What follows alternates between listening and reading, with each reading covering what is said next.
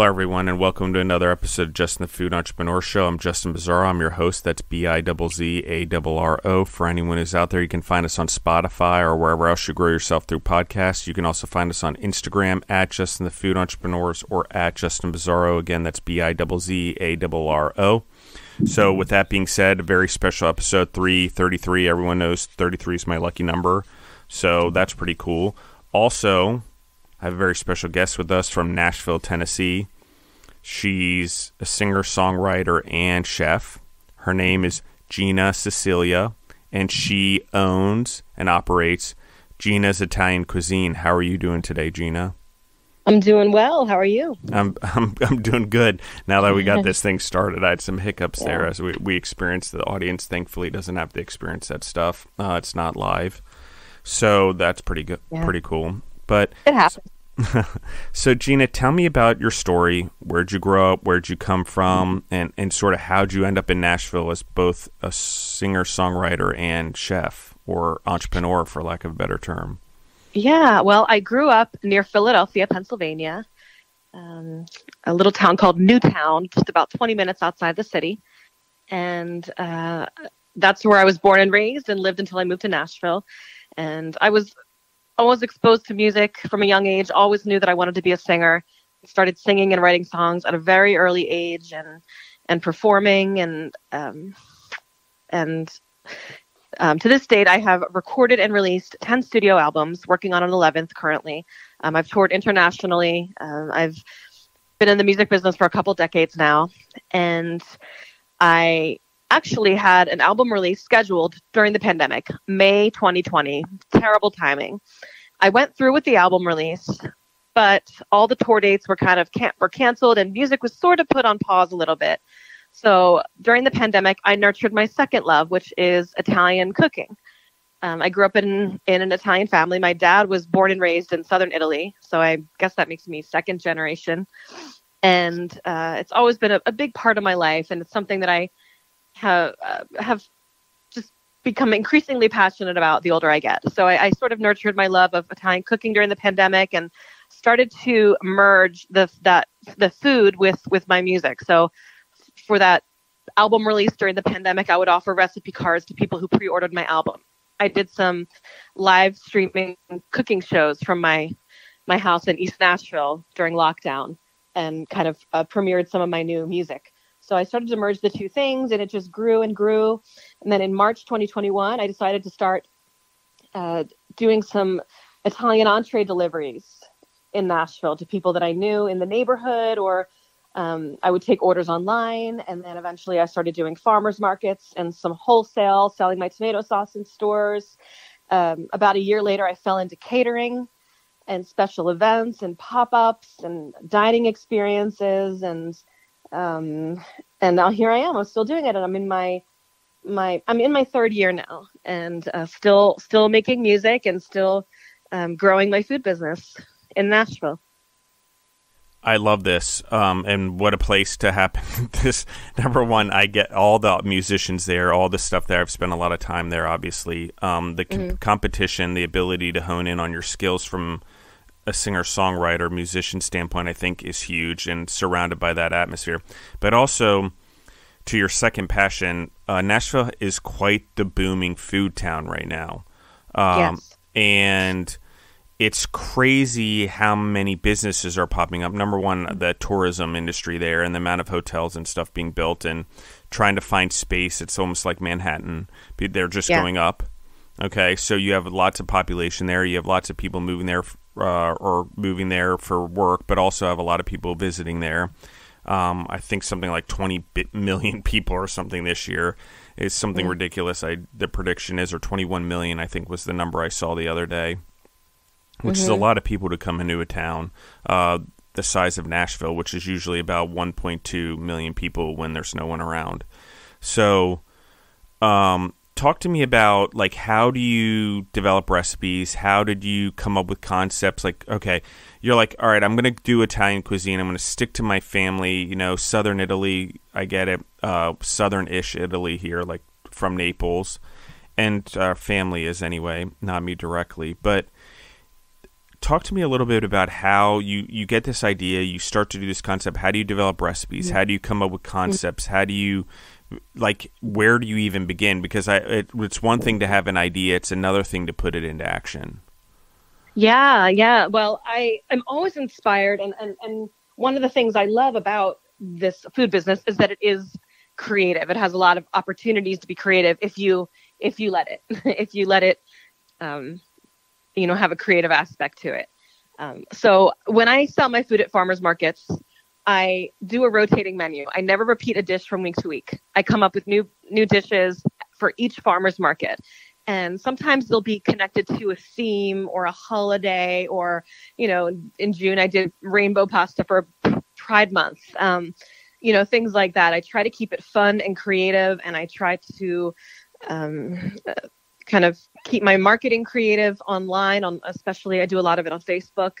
Um, so I'm just inspired by um, just coming up with different i don't know amalgamations of, of food that i like and, and ingredients that i like. And i love making meat based dishes and sauces. And um, i am definitely inspired by italian american food as well as traditional italian food from southern italy and northern italy throughout italy. So i'm i like to um, you know just constantly come up with new creations and i i don't write my recipes down most of it is just by memory or it's kind of intuitive uh, although I would like to uh, finish a cookbook that I had started writing at some point, but I just I'm just kind of it, I kind of approach it the same way as my music. I'm just um, I create when I'm inspired, so that's basically how I approach it. I like this a lot. So let's talk about what are your favorite things. Like give we talked a little bit about the pasta. I think that's brilliant. Okay, I think that's really cool. Mm-hmm. Just like because Italians are so much into rainbow cake and rainbow cookies anyway, why not have rainbow yeah. pasta? So, yeah, there's that. And I, I partnered with a local organization for that one called Launchpad, and I donate 15% of each order at the end of the market day to that organization. So it's sort of a fundraising thing as well as kind of a, a fun, creative pasta dish. I love it. So what are I mean, what's your favorite let's let before we get into like what you do the the for the the company or building this business, like generally like growing up or before you started the food company, what was your favorite cuisine? Like where was your favorite things to eat if it's it's in the Italian threshold? What what what was that? You know, sort of what are the things that you're attracted to beforehand um, or the things you were attracted to cooking beforehand before starting a business? Well, always Italian food. I've always loved. I mean, I love all food. Don't get me wrong, but I've always loved Italian food, and I love. I've always loved making pasta. And one of the things that I love mostly, uh, specifically, I guess, about Southern Italian cooking is that it's very simple. It's each dish is made with very simple ingredients, a few ingredients, but very flavorful elements.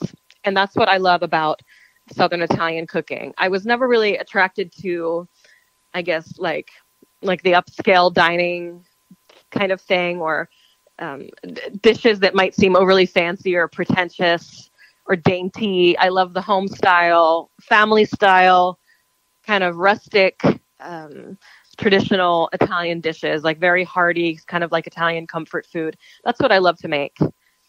And I love I love making colorful food. That's something that I'm always paying attention to is the color detail of my food and my dishes and making sure I have balanced color and and that um, I pay attention to detail in terms of flavor and and that it's aesthetically pleasing as well. I love this because I agree with you. I think the coloration on the plate is hugely important. I think uh, in Italian food we have a lot of red and a lot of white, um, mm-hmm. So to find coloration is good, especially with with our cuisine. Um, so what you've been doing and bringing in other fruits and vegetables and and meats and stuff like that, I think help give it that. When you said um, about meat dishes and you love making sauces with meat, um, talk about that a little bit more. What do you mean by that? What do you mean by sauces with meat, and, and what kind of sauces are you talking about? Well, I love making like a ragu. I love making a sausage ragu, and again, they're very simple sauces. They don't contain, you know, a whole list of ingredients, um, which is, but they taste they taste incredible, which is what I love about them. So I I'll, I like to make a sausage ragu with caramelized onions and some tomato, or maybe like a dash of cream in it. I love making short rib ragu. I love making like bolognese bolognese. Um, I love doing that. I love cooking a big pot of tomato sauce with sausage and short ribs and meatballs in it, and getting the flavor from the meat into the tomato sauce. I think that's the best. Um, I just love um, meat-based sauces. It's one of my favorite things to make, and I kind of love. I'm one of the things I'm passionate about is making the sauces and and kind of developing the flavors and building them, starting with like um, rendering the pancetta and with garlic and then olive oil and and then browning mushrooms and then deglazing the pan with some wine. And I love building meat sauces that in that way. I love doing it. I love this. So let's talk about like when you go to an event or you you do one of your pop ups or you go to the farmers mm-hmm. market, like give me an example of the exact menu that you would use at maybe your most recent event. Uh, if it was mm-hmm. the rainbow pasta, like how if someone goes there, are they just getting pasta? Like how do you prepare? What what are the number of items? Like what mm-hmm. are people were looking for when they come see you? Yeah, so if I'm setting up at a farmer's market, what I'm doing is I set up my tent, I have my booth, and it's basically like I'm packaging my catering because I can't sell hot food at the farmers markets because it's not connected to a commercial kitchen. So basically, what I do is I package all of my food that's made the day before or that morning into to go containers and I bring it all to the farmers market in a cooler and it's ready for people to purchase and take home and eat and microwave and heat up. So that's what I do at the farmers markets and I also do desserts. And I'll sometimes I'll do some some shelf stable items like Italian seasonings or even uh, little Italian treats or snacks that are shelf stable, and I'll sell those. But for the most part, it's Italian entrees, sauces, and desserts that are pre-made, ready-made, and and packaged into go containers, ready to take home and eat. In each market, it's a different menu. I don't want to repeat myself because I like to keep people coming back. If I have if I offer the same meal each week, it's it's monotonous for people and and I, I like to offer something different that people might want to try to keep them as as as customers every week. So, for example, last week I did my rainbow pasta of the week dish for Pride Month, which was a pasta with zucchini and pecorino with rainbow noodles. And then I had jumbo stuffed shells with a meat a beef ragu. I had um, pasta with sausage, peppers, and onions. That's another dish that I love to make: sausage, peppers, and onions. Um, I had what else did I make? Um, I had my rainbow Italian rainbow cake. I had some cannoli. Um, one thing that I've been doing recently that I've added to my my uh, my menu, and my my husband's been helping me make them. Um, they are Southern Italian uh, baked figs. So basically, we get dried figs and we stuff them with walnuts, uh, dip them in a, a, a secret ingredient, which I cannot reveal, and we slow bake them. And they caramelize and they're they're delicious. And it's kind of a, a traditional southern italian snack or dessert or breakfast whatever you want to make it. And I, I think they're also I've, I've heard maybe they're popular also throughout the mediterranean maybe in, in greece also in the yeah absolutely but but um, I've, I've been adding them and I, I sell them in a bakery box and and I, I do an Italian seasoning blend. I um, so I'm just I'm constantly coming up with new items to sell, but usually each m- menu will always include some kind of meat sauce. Um, I did braciole a couple weeks ago. That was sort of my hot item of the week, and that sold out. I did braciole that I slow cooked for 10 hours in tomato sauce, and I served it with capellini. Um, so I'm I'm just you know always always inspired to do new things. I also did eggplant parm last Friday um, so I usually have between five and seven dishes that I'm selling per week. So I, am going to get to to this. Like you're an artist, like singing at songwriting was obviously your first passion because you chose that first. Okay, mm-hmm. but you're now in food also. Like, how do you balance trying to pursue your first dream and also now this what I would call your second dream? Yeah, well, that's it has been a balance, and you know, I, I definitely suffered from a bit of an identity crisis when I uh, in the in the beginning of the the food business adventure because it sort of felt like I was abandoning music in a way, which I have devoted my life to for two decades or in long longer than two decades. So it, it was sort of strange in the beginning to be focusing so much on something else other than music after such a long time.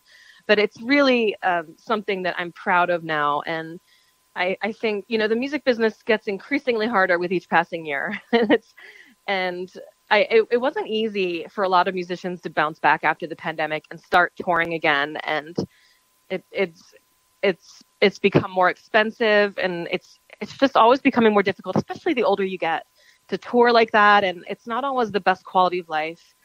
And it doesn't mean um, that you don't love music anymore, that you don't want to make music anymore. There's there's always ways to do that, but to have this other method of making a living now is has kind of brought me a better quality of life and um, it's been so gratifying and it's also given me opportunities sometimes to to merge the food with my music so i've done events in Nashville where I perform and I cook for the crowd. So I feel like there's something unique that I can offer that's authentic and that's creative and that I'm passionate about. So it's it's definitely opened other doors for me and and there have there are people who have discovered my music through my food and vice versa. So it's been a positive thing.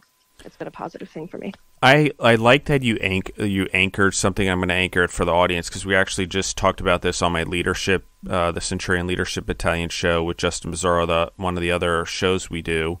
Uh, again, mm-hmm. guys, you can find that on Spotify or wherever else you grow yourself through podcasts. But you mentioned the identity crisis, which I think is is very interesting. And I wasn't thinking that that's what you're going to say, but you hit the nail on the head in that you envisioned yourself as a singer songwriter. Now you're having to envision yourself as a food entrepreneur, and so that's a big step, right? That's a big change in your life. I mean, um, were you embarrassed? Mm. Did you you think food was lower than than your standard? I'm just curious because I know what it's like to all of a sudden be like, who am I and why am I doing this? And are people going to see me in this way the same way as they see me in something else? Yeah, you know, there's definitely a little bit of that. Like, you know, so the first summer that I was doing farmers markets, it was summer 2021. It was kind of around the time that a lot of artists started to, uh, go head back out on tour.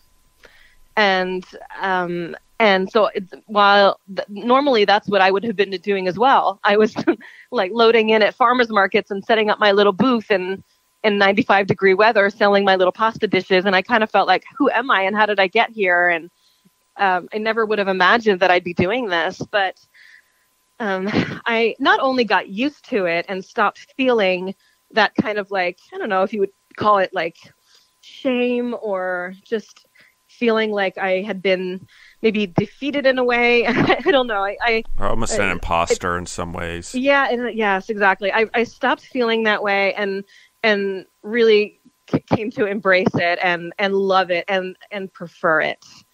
And especially uh, as you know, the next the couple next couple years went by, and I saw how difficult, and I heard heard stories of how difficult it was for a lot of artists to return to the touring world after uh, post COVID. Um, touring got so expensive, gas prices, hotel prices. Um, it, it, things still haven't quite recovered, and and um, a lot of musicians who started around the same time as me and had a similar career path have kind of gotten burned out. Um, and and knowing that I can still record and still perform whenever I want without the pressure of um, having to keep a full tour schedule of kind of just like venues that I don't necessarily want to play, um, b- being out on the road for weeks at a time and sometimes losing money and just being exhausted and burnt out and, and just kind of having a poor quality of life. I would never go back to that. And I, I would never give up my my food business for that not in a million years. I, I, I love how my life is now, and I love the balance of my food and music. And I still perform. I'm st- still in the studio right now making my next album, and I have a show tomorrow night. And um, and I'm excited about it. I try to do a gig once or twice a month, and I have a great community of musicians in town here in Nashville. So I'm still very much active musically but the pressure is off in a lot of ways and and i have this new endeavor and this new career that i've been building myself for the future because you know for what, what is the music business going to look like in in 20 years and 30 years you know um, I, I i know that it, and even in my in some of my lowest moments when i'm frustrated and and um, feeling tired from from schlepping food around i know that i am building something for myself to to have and to to um, to um, you know benefit me in the future when music might not be a possibility anymore. Yeah, and I agree. I think humans are always going to need food, and even if robots or whatever come along, or we can magically make it appear, humans are still better, going to be better at creating stuff on the fly, doing recipes, stuff like that. I get it. Robots and AI might catch up and stuff like that, but it's still not. Food is still going to be food. It's still going to be food, and there's so much diversity yeah. and talent yeah. and creativity in it. It really does reside in the human brain for the most part. Um, I don't yeah. think it's something that's as easy as ChatGPT or whatever those are that that can create music now. Or I just saw today that one is host a whole DJ show. I know I've seen it like literally take my voice and like it'll host a whole podcast like it's me and almost act oh, exactly wow. like that's me and and pretend it's me with a guest on a podcast. And so. Oh I'm like, you know, how how how long lived is the career I'm choosing right now? And again, that's why I still stay in food because I believe humans need to eat forever. There's always a need for for food and bringing family together and human growth. Those two fields, I think, food, human growth, yes. you know, regenerating our planet. It's not going to happen by robots. It's going to happen by humans and human choices. So, um, yeah, and and it not only has taken the pressure off of of making a living from music, it is now given me the the ability to financially support my own music career. So I was able to self fund an album two years ago out of the profits I made during the first year of my food business. So um, so that's a huge plus. So I, I can if I have to pay my band members out of pocket, I have the money to do that now because of my food business. So it, it's it's just given me the ability to, to support myself and make a living and really support my own music. So, because um, music is not always profitable. Um, I don't care what anyone says. it's, uh, yeah. it, it is not. It is. It's not easy to make money in the music business, and um, so I'm I'm very thankful for the situation that I've I've created for myself and I like this a lot because I think um, it's the entrepreneurial ingenuity of life helps us achieve our dreams through and being an entrepreneur in the way that you are and using your ingenuity um, in the food has given you the freedom that you ultimately wanted. You may have to work two jobs, but you love them both, so maybe it's not work. But what's weird is it's probably more freeing and less stressful than it was when you were just working one. You know, so yeah, and I and it's you know even though I guess you would consider it two jobs. It's two careers, and I'm still making my own schedule. I'm only working for myself. I'm not. I'm not going into an office every day. I'm not reporting to a job. I am my own boss. Um, I don't have to answer to anyone but myself, and I can work when I want to work, and I can take off when I want to take off. So that that is that is the goal. That's the goal, I guess, with being an entrepreneur, right? For for anyone, is to have that freedom, that that independence, and that's something that's very important to me, and it's something that has always driven me to want to be an entrepreneur. Yeah, having that freedom and that flexibility. Yeah, I think uh, musicians are similar to entrepreneurs in a lot of way, and it's probably why there's a lot of mm-hmm. crossover there, particularly in Nashville. There's a lot of restaurateurs and stuff that have started off in Nashville as musicians and then moved their way by jobs or having to keep a roof over their head into food, and then became restaurateurs or in the food business. Mm-hmm. I find there a lot and the reason I think that is also is because the creativity is the same, the the hustle is the same in a lot of ways. However, in food, um, everyone has to eat all the time, and most of the time, everyone's going to like most of the food, or at least try some of the food. It's very rare anymore that people don't have a diverse palate. There are people, but it's very rare. And so, on contrary to music, where it's like taste and, and, there's a lot of competition out there, and not everyone goes to a concert every day or buys music every day, food is a little bit different in that way. Food, people buy it every day, eat every day, they go out every day, they do all that stuff. So, I feel like, on one hand, the entrepreneurial mindset's very similar. The creativity, the the free spirit, I would say, is very similar. However, if you look at it on paper, um, the food business still has the ability to profit. And if you have a good concept and a good business, you have the ability to go on forever. Where in music, I feel like even as a great musician and someone who could release 20 great albums, there's still the ebbs and flows of human taste. And while that exists in food, it's not quite the same, you know? Yes. And the reality is, and, and, and I guess two things back to what you said about musicians are like entrepreneurs. Musicians are essentially entrepreneurs. They're essentially business owners. Um, they are business owners who offer their music to the world. That's something that I, I picked up on recently. Um, it, it's, you know, it, it's something that a lot of musicians uh, don't really, um, they, they don't really take c- control in that way, or maybe they don't see themselves as entrepreneurs. But I recently did this program, this local program in Nashville called Periscope, and it's um, for uh, artist entrepreneur training, and it's kind of just to give you a perspective as a creative business owner and and just to take control of your business. But one thing that they said on the first day is um, act like if you're an artist, act like an, an entrepreneur not like an artist, but what no, did they say? Act like an entrepreneur who offers your art to the world, not as an artist. So, um, so that's something that kind of resonated with me to um, see myself as an entrepreneur who offers my art to the world, whether it's music or food. Um, and I think that's also important for musicians to understand. Um, but um, I, but yes, I think there there are a lot of similar aspects to it in terms of creativity and, and the flexibility and but the reality is that, like you said, there's you can get you can get burnt out in either career, but I think there's more longevity in the food business. And at the end of the day, people value food more than, not that they don't value music, but they're willing to spend money on food. people aren't as willing to spend money on music, especially these days, and that's I don't know if that's going to be changing anytime soon. So it's it's it's in a way it's valued a little bit more. So that's that helps. But. Well, and I agree with you. And one of the things I will say, um, just from an outsider and looking in and spending so much time in Nashville, um, and the music there, and some time in the music scene up in New York, as well as just being a music lover in general. Um, mm-hmm.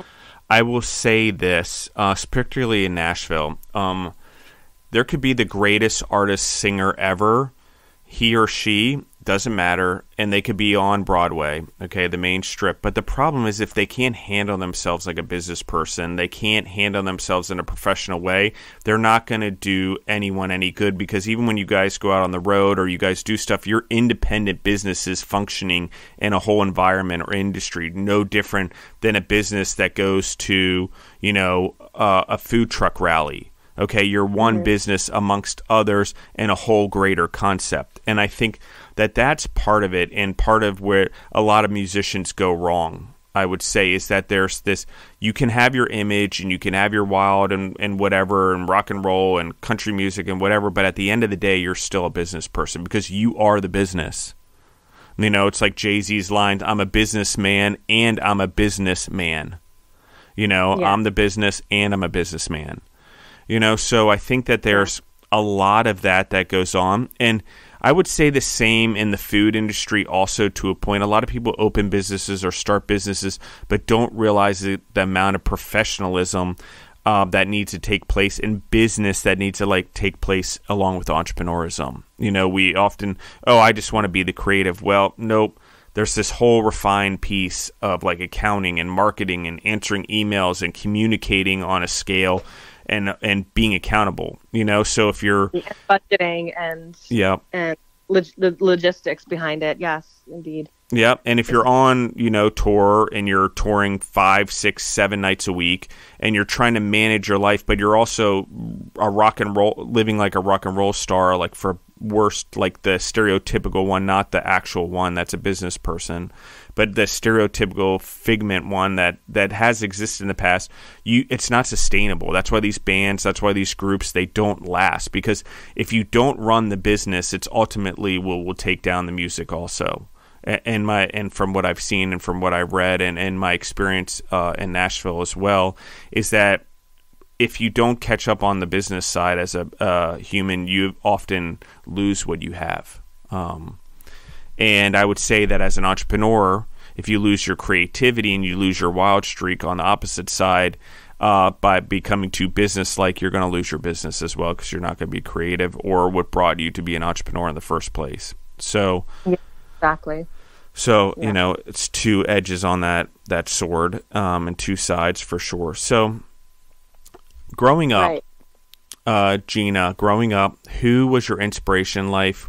Who motivated you? Who inspired you? Even if it's through music, like where did all of that come from? This this big drive that you have. I mean, you're running two businesses now, um, basically, and so where does this big drive come from? Who inspired you growing up? Oh well, I, I, I, suppose my family inspired me, and uh, you know there was a lot of of wonderful culture in my family growing up, whether it was music, food, traveling, um, and being exposed to all those different things. Uh, my dad is an entrepreneur, um, and he's always had that mindset. He's the, the entrepreneurial mindset, um, and he he came to America from Italy and, and as a teenager in the '60s, and he and he built a business, a very successful business, and um, so that always inspired me. And I, I think I inherited that uh, those entrepreneurial tendencies from my dad. And I, it, I, I think that no matter what I'm doing, though, I'm always kind of like have a tendency to become obsessed with whatever it is I want to do, whether that was music or food. Um, once I have my mindset on something, it's it just becomes an obsession and a compulsion for that's the, the best way to describe it. And I've always been that way. So I was that way with music growing up, with listening to music and with singing 24 7, with writing songs 24 7. Um, when it came time to tour, I spent all my free time booking tour dates and writing songs and and building my social media. Even in the early days of social media, in the MySpace days, I was always just kind of one of those around the clock people that was constantly thinking about the thing that I wanted to do and the thing that I loved. And that's that's how I am. It's when there's something I want to do, it's the first thing I think about when I wake up, and it's the last thing I think about when I go to sleep. So since I started the food business, it's kind of um, food has sort of taken the place of that obsession that that used to be about music. But um, I guess it's just my personality. It's I guess I have an obsessive personality, you could say. And You're not I, alone there. yeah. So, so I guess that's what it is. Yeah. I would say, interestingly, and I've been spending a lot of time with this, a lot of weird, as I've, you know, I would say I'm going through something similar where I have this food entrepreneur, but I'm also now in this media space. And then I have this obsession in the media space of being the best that I can and growing this, these podcasts mm-hmm. and these shows and a TV show I'm working on called Foodtopia to the biggest in the world, like the best that's ever been, you know, and, mm-hmm um, you know, I understand that it's long term, but I also weirdly understand that this obsessive behavior as I've come back to the East Coast from Colorado and spending time in Georgia, spending a lot of time in New York again, in New Jersey, and Pennsylvania, uh, and those particular areas where there's a, a higher uh, concentration of Italians and even new immigrants that are coming now. There's a weird thing. We, I think part of the reason we succeed so well as immigrants particularly in America, is that obsessive thing that comes along with our culture. I don't know how. I don't know why. I don't know if it's just the Italians that come to America. I don't think so, based on you know the way they care about food over there is, is quite crazy, and how seriously they take it and preserve it, and, and you know pass laws to make sure it's almost like the purity rights of alcohol or beer in uh, Germany, and so there's just a weird thing and it's hard for people to understand and i will also call it loud love because italians we are loud love. Like we're loud but we're very loving okay? And that's mm-hmm. the obsession. Also we're loud about it. It takes up our whole mind space. It's very loud in our head but it, we love mm-hmm. what we're doing and it's not stressful when we're obsessing. And for a lot of people obsessions can be stressful but i don't find that. I don't find many family members, many people that I met, restaurateurs, entrepreneurs, people in the food space that have this obsession over pizza or growing their businesses or doing right by their family or being a better second, third generation Italian if they're in a business that doesn't find it that while there is I'll call quote unquote stress, it's nowhere near the rest of the world because that weird obsession um, almost detaches you from the stressful outcomes. It, it, puts you in a space where you're now like, okay, well, I, I I'm trying to succeed in this and I'm obsessed about this now and I'm in the mm-hmm. moment, but you weirdly are doing it because you can see that there's long-term gain there for the rest of yeah. your life. And I don't know why that is, but culturally, for some reason, there's an easy we easily detach and, and, mm-hmm. and the obsession, which is like now, now, now, now, from the stress into the income. It's not 100% everyone, but there's this weird cultural thing that I've noticed. And I don't know, again, if it's the immigration part or it's the Italian part. I'm thinking it's actually the culture because of being over there a bunch. And I played soccer over there when I was in my youth. And um, it's, it's that type of thing. There's almost like, I would call it a healthy hunger. It's a healthy, insatiable hunger that yeah, just exactly. never goes away you know, and it's why Italian men are out there in their bakeries till 90 years old. It's why my dad straight up ran ran his company until he was 80 some years old. You know, like it's just like, what are you doing? But it's that obsessive mindset. It's that dedication. It's that wanting to do better. It's that detachment from the immediate outcome. And and I think also that has to do with immigration. Is you come over here with nothing, your whole basis is to provide something better for your family that you never had, right? When you come to America. And so there's a lot of that mentality too, and that obsession to better your life, which then gets passed down to us also um, as second, you know, third generation, I believe, you know, that the obsession mm-hmm. to have a better life, the obsession to do better. And then also, what I'll say is the obsession to control life by your terms. And I don't mean life is controllable. However, I believe that we have more control over our lives as entrepreneurs or, or singers or creators or whatever than the rest of the world, even though it may not seem that way.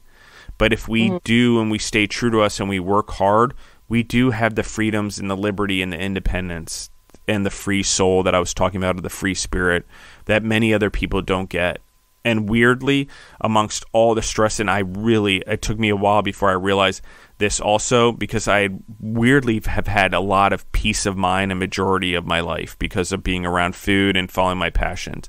But when I sort of switched a little bit and, and grew my businesses and then relationships changed and the world changed, I like went through that identity crisis thing as I went into the podcast and and even though I had the food businesses, my obsession became different. My my love became different. But then what I came to understand is that it's okay to be obsessed about multiple things. Mm-hmm. It's okay to use the word obsessed and not have it be a quote unquote addiction. You know, because a lot of people are like, "Oh, you work so hard, why?" Well, I don't know how else to do it. And if I take a day off, the guilt the shame I feel far outweighs anything, any relaxation I'm going to have. Okay. And I know everyone's like, oh, you need to find time and vacation, whatever. Yes, there's times I can detach and I'm present. You know, I put my phone down, I'm present with my family in the moment, but that does not mean that I take weeks off because I just it my mind doesn't work that way because I constantly have that healthy obsession going on about bettering my life, about bettering my businesses, about bettering my career. Um, in a healthy way. I know uh, people can do it's it in something that always ways. lives inside you. It's just yeah. something that sorry. Yeah, it's just something that kind of always lives inside you, and like you said, you're kind of detached from thinking about any possible outcomes. And I, and when I'm feeling that, well, like when, well, I, I always am, but I, one thing that never enters my mind is, what if this doesn't work out? I, I, I never even I never think about it. I, it's kind of like all hesitation goes out the window, and I just and and everything that I'm passionate about just drives me. And um, I, I, I don't think it. I don't consider that something might not work out or that I might fail. Um, I know that it, it, that it could be a possibility, but it doesn't stop me because I don't think that that's the worst thing that can happen. Um, so, um, but you're right that that was a very that was a great um, I guess d- description of, of how it feels to be that passionate and obsessed with with what you're doing, and I, I definitely can relate.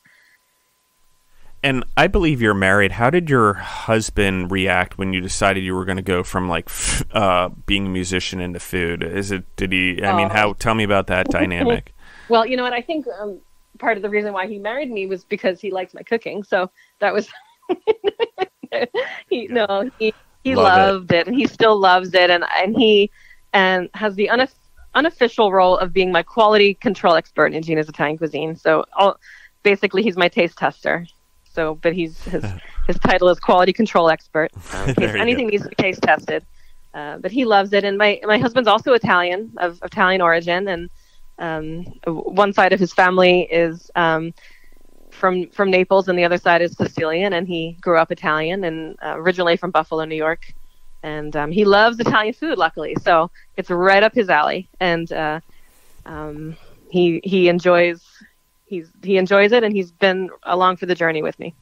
I love it. whole time, yeah. So, uh, I mean, you you've got a support system. You obviously have a good parent who's an entrepreneur who's supported you, who you know obviously came here, risked everything to build the life that you have and give you the opportunities that you have. You have a supporting mm-hmm. husband. How do you motivate yourself? How do you inspire yourself? Because you, obviously mm-hmm. we can't always rely on other people.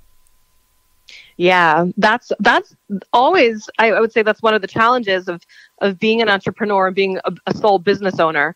Um, is you know there, there's no there's no blueprint there's no instruction manual um, for uh, what to do and when to do it and how to do it um, you have to constantly figure out your own way and and create your own your own reality and your own build your own business and and and just every day come up with something new and and and figure out the next step forward so um, how do I inspire myself? Well, I think with food, I, I think I'm always inspired, and I all I have to do is is maybe go online and, and look at a, a cooking show or look at look at a picture of food on Instagram, and I'm instantly inspired and have ideas. And um, I sometimes all I have to do is walk around the supermarket or the restaurant supply store, and I come up with ideas for dishes. So, and it, inspiration is not difficult for me to find. Um, so that that's not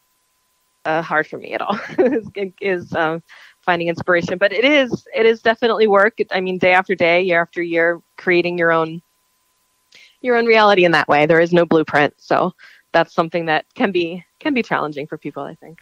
Uh, wow no one's ever quite put it that way but um, i'm going to say i can relate to this whether i didn't realize it until just now. You really opened up a, like a part of my mind that's there subconsciously that i didn't realize but mm-hmm I am that person as well. That I can go to the grocery store. I can get lost in the grocery store. It's kind of crazy. Like I'll go in there just to get like milk and cereal or something. Next mm-hmm. thing you mm-hmm. know, I'm like searching aisles and I have ideas and like how could I produce this? How could I make this? How could I turn this concept into a restaurant?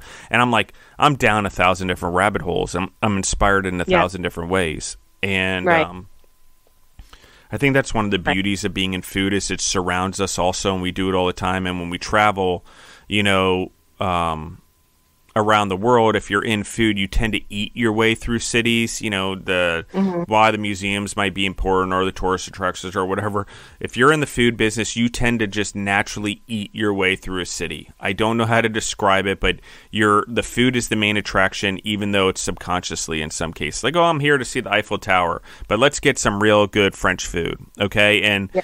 you know, and French wine and, and whatever else. And so. Yeah champagne and blah blah blah and macarons and blah blah blah blah blah that you can never yeah. stop eating at anywhere I go. Like I, everywhere I go, I want to try new food, and so you know I think that that's something that just naturally happens once you're in you're you're a foodie maybe, but uh, mainly when you're a food entrepreneur is that a lot of these creative ideas, a lot of things that happen are are every day, and there are times where you would think I'd get overwhelmed by all of it because I'm like, how mm-hmm. am I ever going to execute? Like, I had 50 ideas today. I'm probably not even going to execute one of them. But what I found is like, even if I write stuff down or I journal it just for the audience, like those ideas sometimes come back and I use them like seriously like five years later. It's yeah, kind of crazy when the, when the, time is right. When, when the, time, time, is right. right. Yeah. yeah, I have I have so many ideas for food products and for dishes and for different themed events that I could do. It it just feels endless. It really does. Whether they're big ideas and um, big endeavor, large endeavors, or just small little ideas for a, a new product I could sell to farmers market. I'm I, and sometimes I I overextend. I have a tendency to overextend myself and take on too many different things and bite off a little bit more than I can chew.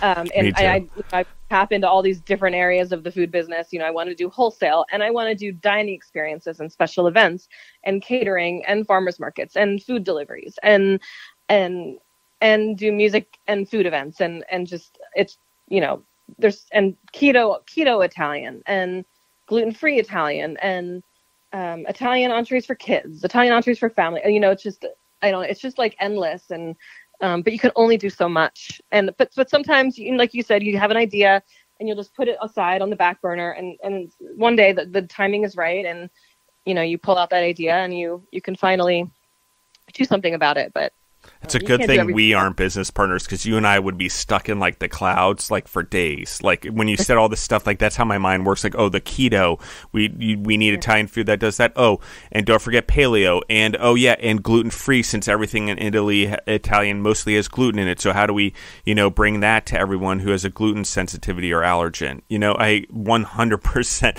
have gone down that rabbit hole and like probably on a daily basis across a lot of different cuisines. Um, yeah. And so I like that a lot, and I agree with you. And I think that that's exactly when people talk about constructing roadmap and business plans. Uh, you know, as entrepreneurs, and it's funny. I guess it's good practice to have a business plan, but if you don't have an act, it's it should be like an actual growing plan, tell people this all the time, especially when I consult or coach them. Like never longer than ten pages. If it's ten pages, even like I'm like, how, why do you need that long?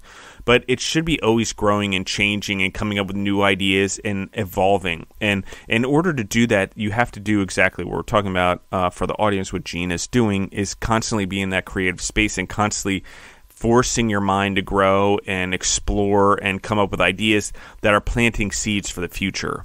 They're putting, yeah. for lack of a better term, they're filling the pipeline. Exactly. And so I, I think that that's uh, pretty amazing. Um, yeah, I think it's, a, it's a balance of of coming up with new ideas constantly, and you can't stop yourself from from getting ideas, but um, it's a balance between doing that and also just having creating or formating for, forming or formulating a clear vision for yourself so that you you don't you know you're kind of not um, aimless in what you're doing. So I think there's a balance between um, coming up with new ideas and and also executing a vision. Um, so there's you know I, I think there's and it can be a hard balance because there's constantly new things I want to do, but that's something I I'm trying to work towards a little bit. So, I mean, what do you enjoy the most about being in food? Like, what do you what do you truly enjoy about this? Maybe even a musician, also. Like, what is the the things that mm-hmm. you really enjoy? Like, you know, there's the motivation to do it, but what is the things that are giving you reward? What's rewarding you? What's for what's rewarding me? I love kind of like the instant gratification I get when people eat my food and try it and, and love it. I love that part of it. Um, I like the the feel the feeling of gratification that comes with creating something new, um, coming up with a new dish, um, expanding, coming up with new products, marketing them. Um, the marketing aspect is very gratifying for me. I love being creative with that as well. Um, I love I love the little things. I love even um, building my email list. I've been really excited about that and how much that is um, helping to um, expand my customer base, my email list. Um, so just the, the whole idea of expanding and growing and coming up with new ideas and reaching new people and and um, finding new opportunities is very gratifying and and and that's that's what I love about it. Um, and it's kind of you know that old cliche saying that it's it's the journey, but I love I do love that aspect of it. I love feeling the business grow and experiencing um, experiencing that and um, and it's very gratifying and it brings me a lot of joy and it's it keeps me going and it, it fuels that obsession. So. What's the best day you've ever had in your in your food business? Oh the best day i've ever had in my food business. Wow. Hmm. Well i would say something that was pretty exhilarating but also exhausting was uh, uh, kind of in my, you know, I haven't been catering that long. I, it was sort of something I fell into by accident.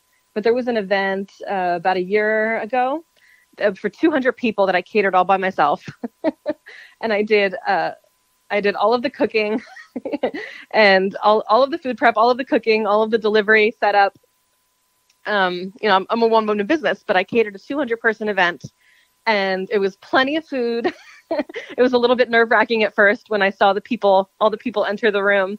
And uh, I started to worry that I wouldn't have enough food. It was kind of a buffet setup, but it turned out to be plenty and it was good. And it was, that was kind of, that was very exhilarating and very encouraging. Um, let me see. Um, I've had a lot of little moments um, that I've enjoyed, um, but that was, um, that's that interesting. I always worry about that too. That's my only worry. Yeah. We were talking about detaching from the outcome. Uh, for me, it's always do we have enough food? i and it's weird yeah. because you don't want to have too much because you don't want to lose money. But at the same time, I'm always like, mm-hmm. I don't want to run out. And I know everyone's like, oh, mm-hmm. you want scarcity and you want people to want it and, and have need for it and look like it's like I'm like, no, that is not no. the way I can function. You also want people to feel like they're getting their money's worth. Yep, exactly. So I've had nightmares about running out of food.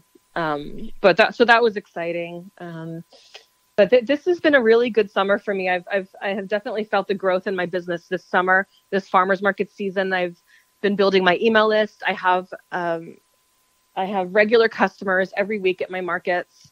Um, getting new catering opportunities. I'm working on a few special events. I I have another a friend in town who's also comes from uh, uh, an entrepreneurial family, Italian Italian food family, and we're working on creating uh, an Italian kind of an Italian festival in in Nashville. Um, that's something that we want to do. I'm in.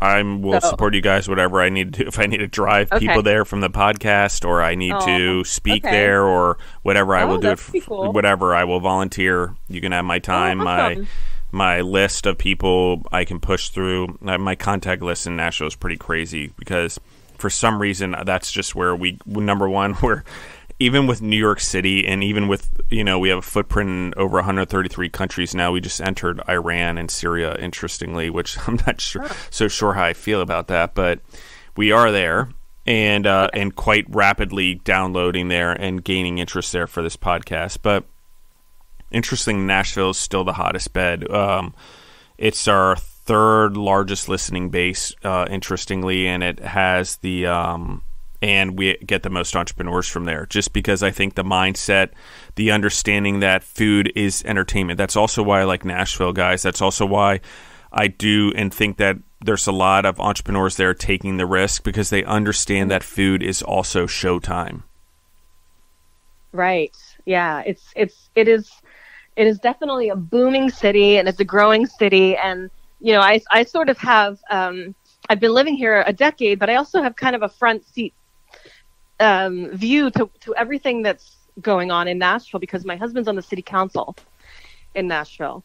And he he works in local politics and he's been heavily involved and he's campaigning right now. And um, so we're we're we've kind of been bouncing around the city everywhere to different events. And um, we um, th- he's been heavily involved in a lot of the, the new developments in Nashville and, and and and everything that's been going on over the past decade. So um, I kind of have a front front front uh, front row view to everything that's been going on, and it's it's really Nashville has exploded in so many ways. Um, it is even it's a lot different even than when I moved here uh, ten years ago. So um, I think um, um, it, I think even in terms of food, there's a, a lot a lot of new types of food that have come here over the past decade. Um, it's just become even more of a melting pot. Um, it's not. I think back in the old days, it used to be just meat and threes and steakhouses, and there wasn't even a lot of Italian food when I came here. But that that's definitely yeah. changed. New businesses all the time, and um, a lot of the pop up business uh, market is is very very big. The food truck um, scene is very popular. Um, there's just a lot to a lot to eat here. So yeah, and I was involved in like restaurant equipment and restaurants and building and designing restaurants for well over uh, de- well over a decade. And early on down there, I went down there to do some projects when things were just starting to turn around. And it's nothing like it is now. Not with the honky tonks, not with the way it's booming. Definitely not the number of people. And if you anyone went there when I was I was like a kid, we used to go there for horse show sales because I grew up on a horse mm-hmm. farm, quarter horse farm. And so we go there for horse uh, sales and auctions, and you know the banks down there and stuff. and I think there was like gravel roads even downtown when I was a kid because I would like stuff like gravel into glass Coca Cola bottles because I was I'm that old, guys. Yes, soda used to come in glass when I was a kid, and that was when they had new Coke, which was the a great disaster in and of itself. Which I was about five years old, but I remember the disaster of new Coke. And so it's right around when I was in Nashville, interestingly. So it weirdly anchors the city for me. Um, but the progress in that city it's a lot like Denver after the marijuana boom. Once Denver passed or Colorado passed marijuana, Denver boomed. Mm-hmm. And yes. for whatever reason, whenever the flood hit Nashville and flooded everything, um, it, it, there's a weird, I don't even know how to describe it. It's just a new business mindset came around, a new idea came to the forefront of you know some of the land was cheaper but they were able to attract the right people to the right place to start a boom and i don't know how to describe it but i would mm-hmm. i will say that in an instant the flood hits and and for me and i'm guessing because just based off of i'm intellectually guessing i'm using my intelligence of my research and stuff that once nashville sort of really accepted and got off the fact that it was just country music. And I know it's always not been that way, but weirdly, I feel like it really was like, okay, we're going after it. And then Kid Rock puts his his um, honky tonk there, which is Kid Rock is not necessarily country.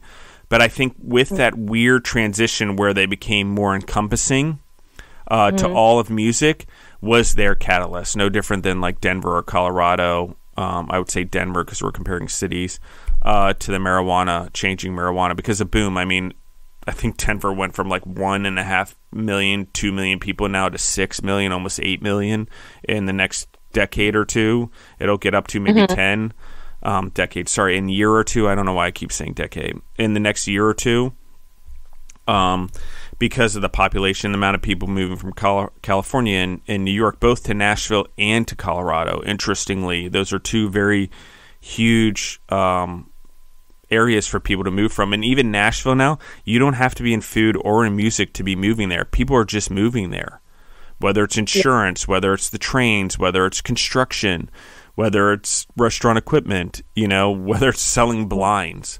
You know, there is a lot of people that are moving to Nashville because they want that that southern way of life, that slower pace of life. Although Nashville is not that, you will not get it there.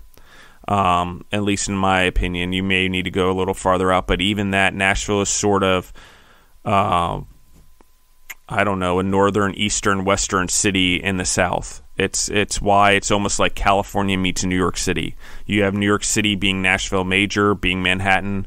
You can only go up, and then you have like Brentwood and the suburbs being more like the different parts of Los Angeles, from Hollywood all the way to Crenshaw. So, uh, no, you're absolutely right. When I when I go to Memphis and I spend time in Memphis, I feel like I'm in the South. I feel like I'm in a southern city. It's a little bit sleepier. It feels a little bit slower paced. Nashville, you're right, is not that way. It, it it really feels in many ways like a northern city. And I I can't I can't say how it used to be because I've only been here 10 years. Um, I'm maybe in in in decades past it was a little bit of a slower paced city but now it is definitely not that way. Um, I, I, think compared to a lot of northern cities, it's still a much more affordable place to live. That's why people from California and Chicago and New York are moving here. And then, um, and, and then it, it grows and, and, and, prices have gone, gone up dramatically. Um, but I, it, it, definitely doesn't feel like that, that slow paced Southern city. Um, but it, but it's still a, a really, really, um, feels like a, a, healthy quality of life and and um, it's it has a lot to offer and it's there's a lot to do and there's a lot to see and it's an exciting place to be right now yeah and i will say this and i like i said i've spent the last oh, i've spent some time in georgia also like two years mm-hmm. but also still being in colorado for about nine years um, mm-hmm. but you know it is it is a faster pace of life than Colorado for sure. I enjoy that. I grew up on the East Coast, so I like that like very fast paced way of life. I like executing. I like small conversation. I like quick meetings. You know, it, it's just the way it is, and I find that in Nashville as well. People are always hustling. um, I was so busy there and adjusting from being in Nashville and the life and growing the different podcasts and the different shows, uh, doing mm-hmm. consulting work there and various other things that I was doing that it was it was like my life was passing by very fast because it I hadn't been in that fast pace of life in almost nine years. Even though I'm an entrepreneur and life is very fast paced, it's not like once you get around fast paced people who are hustling. Another thing about Nashville is because it's smaller not quite like New York City or not quite like Los Los Angeles. You have a high concentration of entrepreneurial mindset, I would say, in a growing environment, whether it's the musicians as we discussed earlier, or the food entrepreneurs, or people who are now building businesses based on the musicians or based on the food entrepreneurs, or now entrepreneurs based finding solutions for other entrepreneurs. Um, mm-hmm. It moves very quickly, and it's very cool to see the ingenuity and growth and almost self incubating. Okay, it's the weirdest thing. It's like there doesn't need to be a lot of push there. There doesn't need to be a lot of you have an idea, go for it there. No, everyone's already gone through that by the time they got to Nashville. They're already over the hump that you just need to go for it. Even if it wasn't the, even if I'm in food now and I originally went and staked it all in music, that weird fear of not of not leaping, that weird fear of you know holding myself back or not trusting my instinct doesn't exist the same way in Nashville, which is also why I think everything's moving so quickly is because of this confidence that happens there from the entrepreneurial mindset. So, um, very cool, Gina. Yeah, I mean that's that's a really great way of of of summarizing it. Yeah, I, I think you I think you're onto something. Sorry, I took over the no. commentary there for a second. Sorry no, about that. No, I have a great. tendency to do. It's great some... to hear your perspective on Nashville.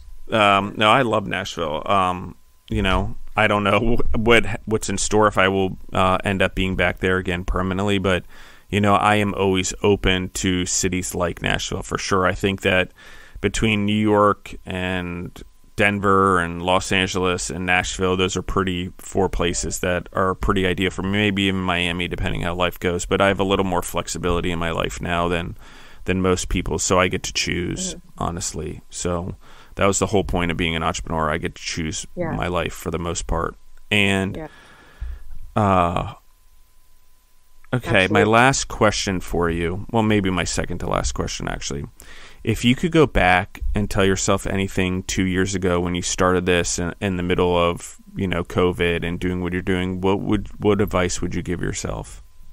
When I, for when I started my food business. Yeah, absolutely. That don't you know now. Take, yes, don't try to take on too much too quickly.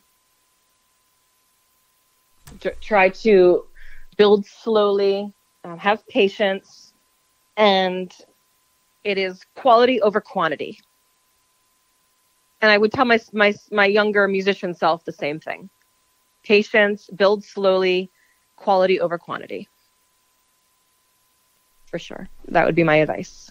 How do you define success, Gina? I'm, I lied. I said two questions. I actually have three now because the, you just okay. asked that. What you just said is, uh, how do you define success? How do you define that you're doing well?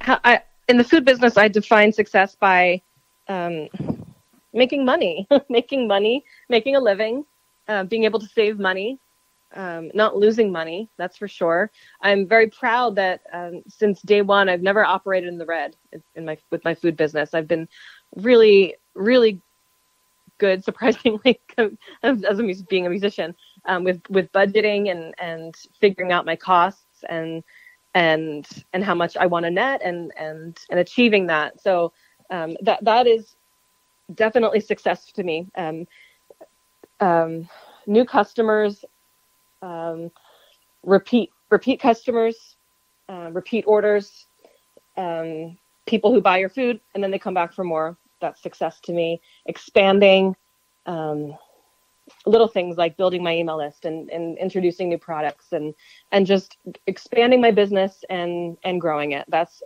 being successful to me.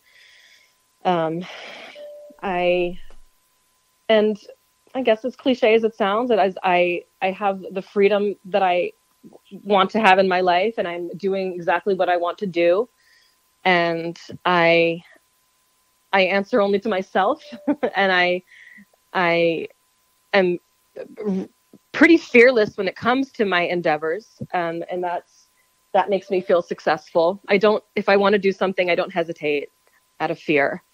Um, so if, but if, if I was that way, I probably wouldn't feel successful. So um, uh, not hesitating and, and going after what, I want certainly makes me feel successful and, and makes me feel like I um, am pursuing my potential. And so all of those things combined, I would say. And and gosh, Gina, I really appreciate you coming on the show. And this will be my last question for you. Like, where do you want this to go in the next 5, 10, 15, 25 years? I know you talked about you're putting stuff into consumer packaged goods um, for the mm-hmm. audience, which CPG is a term, but it's your uh, seasonings are going into packages. I noticed online you have jars, but you also have moved into the plastic bottles and things like that. So you're growing that as well. So, I think just on that and, and what you're doing, like where do you want this to go? I mean, are you hoping for a brick and mm-hmm. mortar one day? Or Are you hoping for a food truck? Like sort of mm-hmm. help me understand what's what's going on in, in that brain of yours. I would say no and no. No brick and mortar, no food truck. So I think I mean, I as, as far as a restaurant goes, I, I there are people who are enormously successful with doing it, but for me, to an extent, it defeats the purpose of being an entrepreneur as I define it, uh, as I define what, what an entrepreneur is, which is just having the ultimate freedom and flexibility in your life and working only when you want to work and creating your own schedule. And I feel you lose that a little bit or a lot when you have a restaurant, a brick and mortar. And I, I don't want that as tempting as it would be to have a little space where I serve my food to people. Um, I just, you know, never say never, uh, but it's, it's not one of my goals. I, it's not something I envision for myself. And and neither is a food truck. So what the direction that I probably would like to go in, in the next, and, and something that I am working on is um, going more the wholesale route. And I would love to turn this into more passive income in the next five to 10 years through my wholesale products and specifically developing um, frozen entrees. And I would love to be in every supermarket nationwide. And I would love to I would love for me and my husband in five years to go to Italy and sit on the beach, and I'll be sitting there on my laptop. That's how I envision it. In five years, I'm sitting on the beach in Italy with my laptop, running my wholesale business in Amer- from Italy, and and my food is in every supermarket in the country. That's what I that's what I envision. Um, we should talk. That's my like one of my main expertise is turning people's food into either frozen or fresh meals uh, for grocery stores or direct to consumers. That was one of the things okay. I scale for a living. That's one of my main professions. But we can. Um, okay. I can either hook you up with people or introduce you to different manufacturers or people that can help you with that or whatever, because I can help expedite that. Interestingly, uh, you're talking to the right person. I don't want anything for it, obviously. Um, I'm out of that life. I don't want to get in the middle of anything. I just want to connect people uh, right now. Well, that would be great. So let's let's definitely talk, and I'll tell you more about my idea. Yeah. And uh, you can you can um, give me your perspective. Yes, I do I have a very this. specific idea. So. Yes, I love this. I hope it has to do with gluten free also at some point because if you're on that scale, where we're you know good things are coming. So. Um, but also, I think the regular at home Italian food and, and, meals is something that's greatly lacking in the world right now. So, uh, yes, I would love to talk. And for anyone in the audience, uh, thank you guys for listening in. Um, I appreciate you guys. And uh, where can we find you, Gina, online? Your music, you, your business, wherever? You can find me on social media. And the best place to follow my food business uh, is on uh, bo- both on Instagram and on Facebook. So it's Gina's Italian Cuisine on Instagram. And the same thing on Facebook. I have a page, Gina's Italian Cuisine, and also a group that you can join where I often post my food products and pictures and and adventures. And as far as music, you can find me on Instagram at Gina Sicilia Music and also ginasicilia.com or just Google me and, and a bunch of things will come up about 20 years worth of things will come up. yeah. I love it. Yeah, I'm, yeah. It's and the skeletons in the closet come up. That's always fun. Oh, yeah. All the way the Wikipedia. Yeah, yeah there so, you go. Yeah. uh, I just joke around, but seriously, as an entrepreneur, we just um, we just have a really good thing um, that we do when we're entrepreneurs and connecting people and introducing people, even if it doesn't benefit us. So I do want to help you out, and I there's a lot of entrepreneurs out there. I believe that you know the altruistic entrepreneur is always looking to grow themselves by growing others. So. Mm-hmm. I'd love to help you out. I believe in your brand. I'm definitely going to ask you to do a part two eventually, as, as, after we finish the other conversation, so we can sort of go down rabbit holes on some other things and other questions I have around your businesses. But we we're about out of time here, so. But I appreciate your time, Gina. Um, uh, it's weirdly you're weirdly refreshing and you bring a sense of calmness that I've not felt before in a lot of the guests or in a lot of people. Um, even as an Italian, because we tend to be like very hyped up and passionate, but you seem to have a sense of balance and calmness while doing it, which I think is probably one of your superpowers and probably why you're doing so well. Um, you know, I don't freak out. I, I think I'm I'm I try to stay calm, cool, and collected. So maybe that's part of it. Yeah. yeah, yeah, that's exactly it. It's very oh. um, it's a very great quality in leadership and in entrepreneurship. And obviously, as a musician, I've got to imagine that comes in pretty handy. But um, yeah. I just wanted to compliment you, obviously. And number two that was number one. Number two is i think what you're doing is incredible and i think nashville's the right place to do it. And i also think that keeping yourself free because i'm someone who used to have brick and mortars all over the country anywhere from 7500 square foot kitchen to 123000 square foot kitchen um, to produce mm-hmm. food is that those things can become anchors. And if you end up accidentally, I say accidentally because entrepreneurs, we do this, working too much in your businesses and not on your businesses, years will go by where you have not grown your businesses properly. And mm-hmm. I, so uh, that's when you have such a healthy boundary over it and understand it. I totally understand where you're coming from now, where I am in my life, and not sure I ever want brick and mortars again in my life, you know?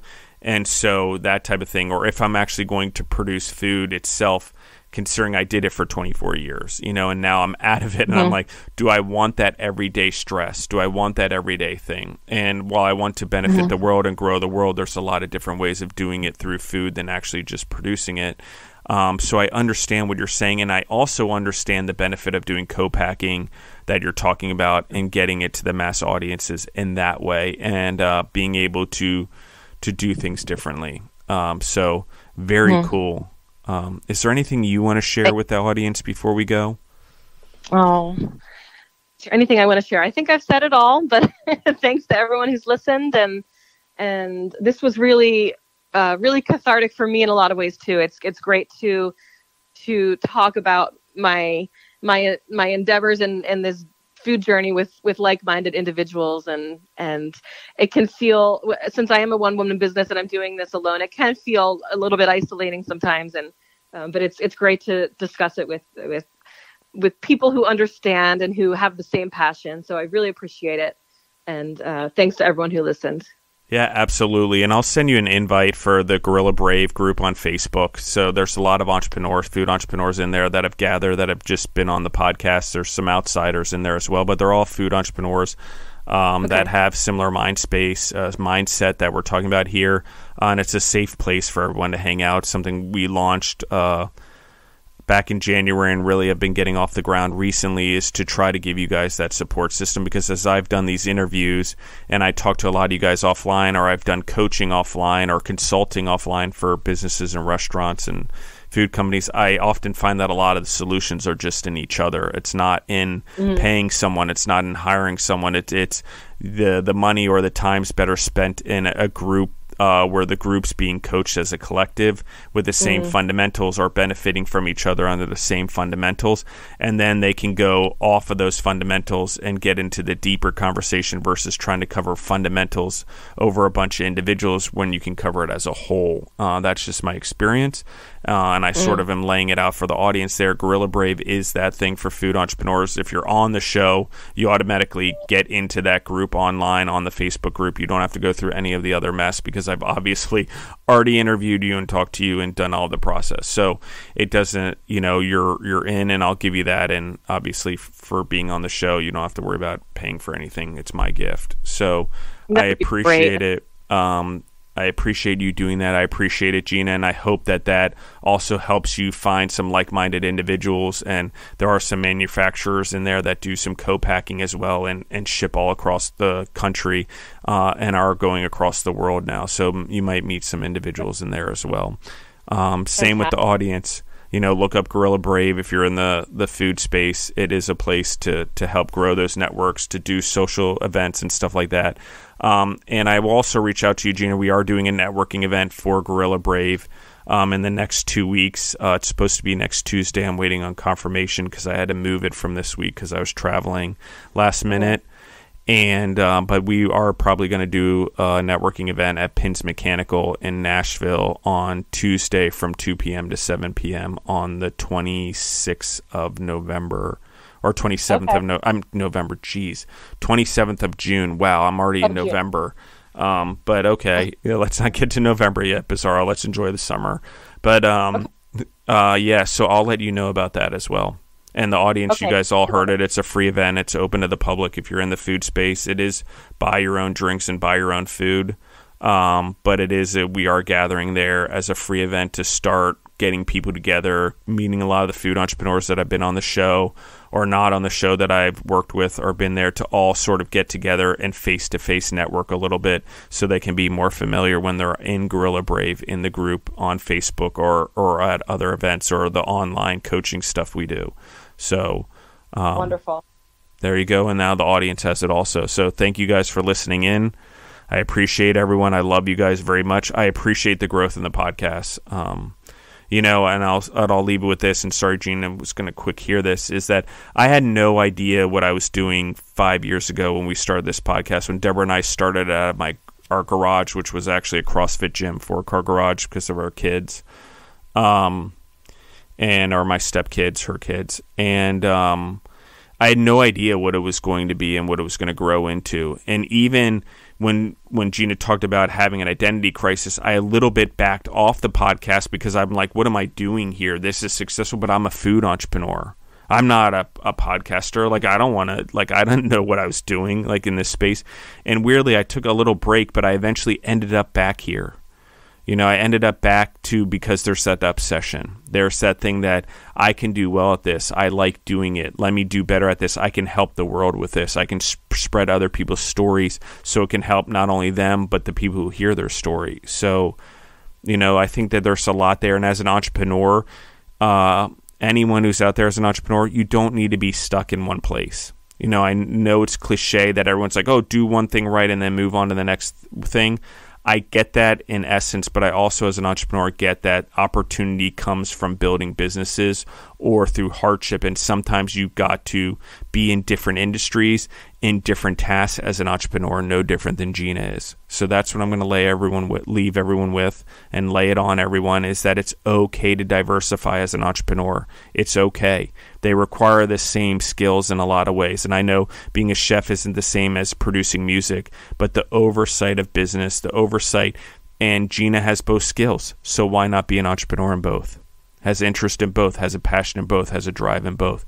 So don't ignore your other interests and don't get so involved in working in your businesses that you don't work on them or don't work on other business ideas or other entrepreneurial endeavors. So Thank you, everyone, for listening in. Again, you can find us on Spotify or wherever else you grow yourself through podcasts.